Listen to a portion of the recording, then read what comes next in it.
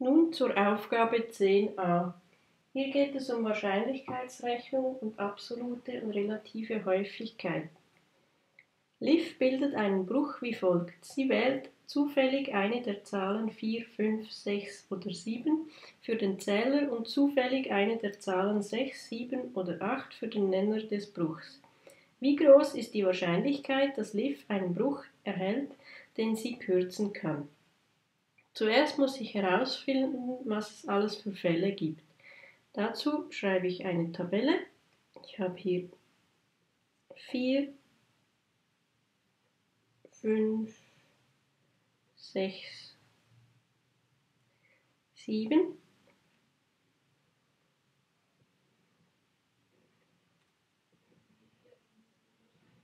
Im Zähler. Und im Nenner habe ich 6, 7 oder 8. Das heißt, ich schreibe mir hier alle Möglichkeiten auf. Ich kann 4 Sechstel respektive 2 Drittel, wenn ich den Bruch kürze, dann habe ich 4 Siebtel, das kann ich nicht kürzen, 4 Achtel, das gibt gekürzt ein Zweitel, 5 Sechstel kann ich nicht kürzen, 5 Siebtel kann ich auch nicht kürzen, 5 Achtel ebenfalls nicht, 6 Sechstel kann ich kürzen, das gibt 1, 6 Siebtel kann ich nicht kürzen. Äh, sechs Achtel kann ich kürzen, gibt drei Viertel. Sieben Sechstel kann ich nicht kürzen, sieben Siebtel gibt gekürzt 1. Äh, sieben Achtel kann ich nicht kürzen. Nun, um die Wahrscheinlichkeit herauszufinden, muss ich wissen, wie viele Brüche es überhaupt gibt. Also Anzahl der Brüche.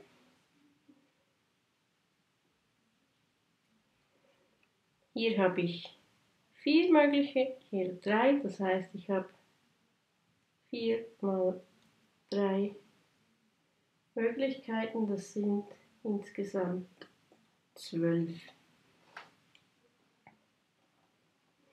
Dann muss ich wissen, wie viele Brüche ich kürzen kann.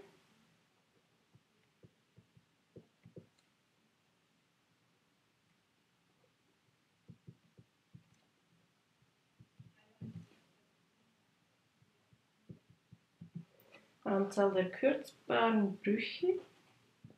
Dafür habe ich jetzt die Tabelle hier gemacht. Kürzen kann ich diesen hier, diesen, diesen, diesen und diesen. Die anderen sind nicht kürzbar. Das heißt, ich habe hier eine absolute Häufigkeit von 5. Nun kann ich die relative Häufigkeit ausrechnen. Das heißt, ich setze die Anzahl der kürzbaren Brüche, also 5, über die Anzahl der gesamten Brüche, also 12.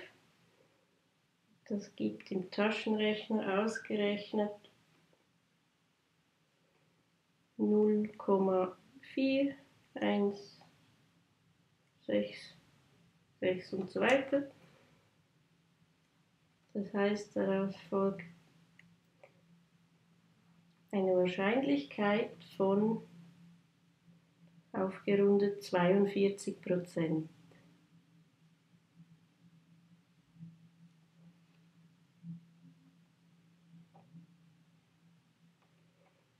Das heißt, Liv hat mit 42-prozentiger Wahrscheinlichkeit einen Bruch, der kürzbar ist.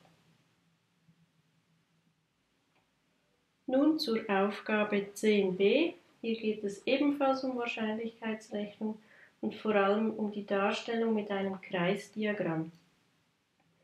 Ich habe hier unten die Tabelle von der Aufgabe 10a nochmals kurz abgeschrieben, damit ich dort hineinzeichnen kann. Es ist aber nicht nötig für die Prüfung selbst. Teile jeden möglichen Bruch, den Liv erhalten hat, in eine der folgenden Kategorien ein. Brüche, die man nicht kürzen kann. Ich mache diese kurz grün. Also nicht kürzen kann ich alle, die hier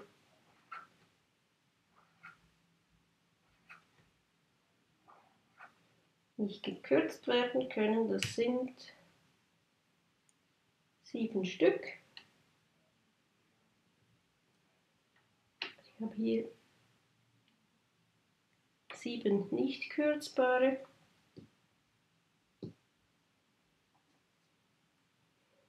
Dann Brüche, die man kürzen kann, so dass man einen Stammbruch Bruch mit Zähler 1 oder die Zahl 1 erhält.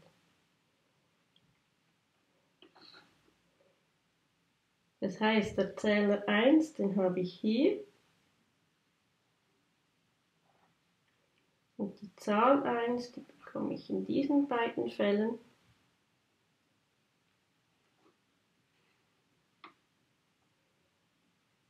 Das heißt, ich habe für die Stammbrüche drei Stück. Dann gibt es noch die dritte Möglichkeit, die Brüche, die man kürzen kann, ohne dass man einen Stammbruch erhält. Man kann sie kürzen, aber man bekommt keinen Stammbruch. Das heißt, das sind noch die verbleibenden. Das wären in diesem Falle zwei.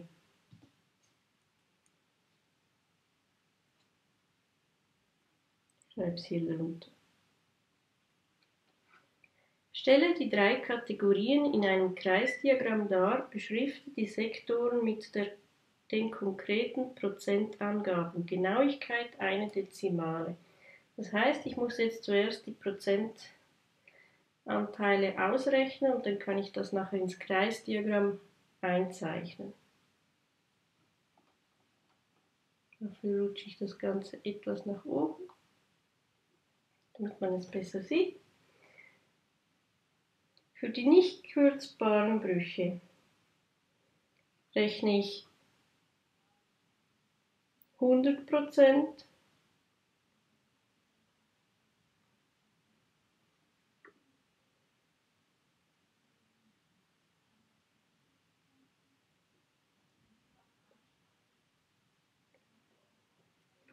geteilt durch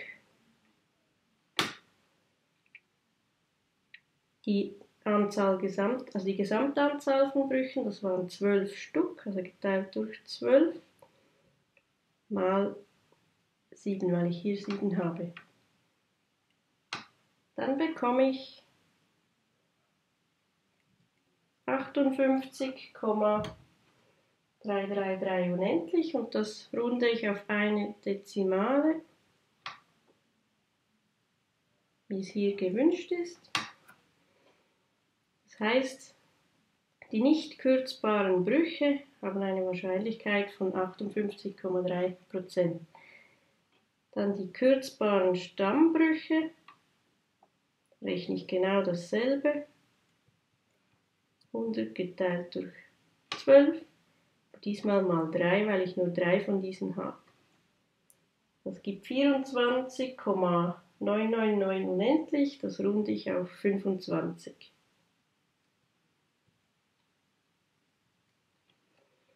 Dann dasselbe für die kürzbaren Nicht-Stammbrüche.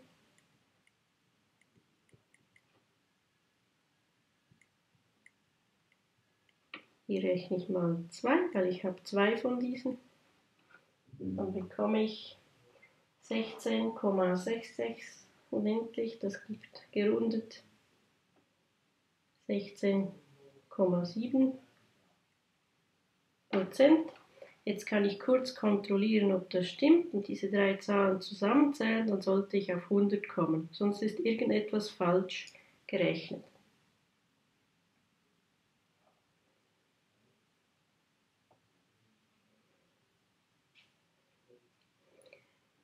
Nun muss ich das Ganze, diese Zahlen hier im Kreisdiagramm einzeichnen.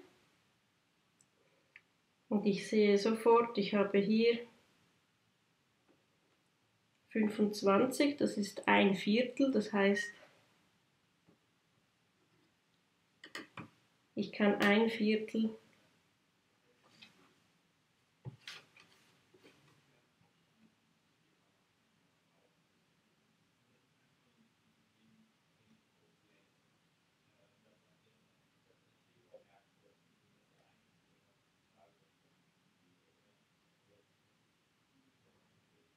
mal einzeichnen.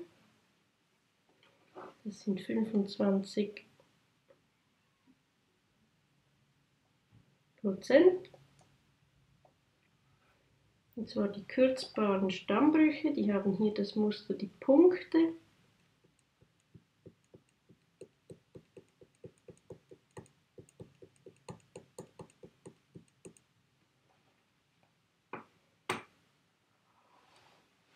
Dann habe ich hier 58,3 und 16,7. 16,7, das ist ein Sechstel.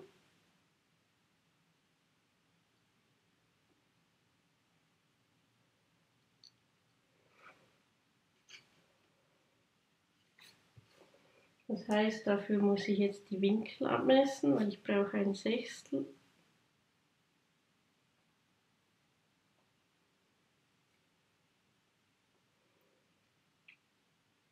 Das wären 60 Grad.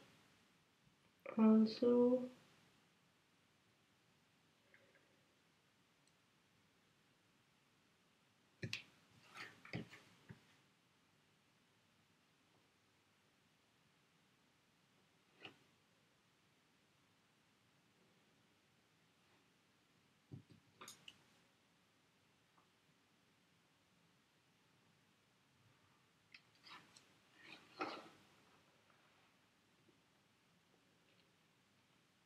Das waren die kürzbaren Nichtstammbrüche, also 16,7 Prozent dieser schraffierten.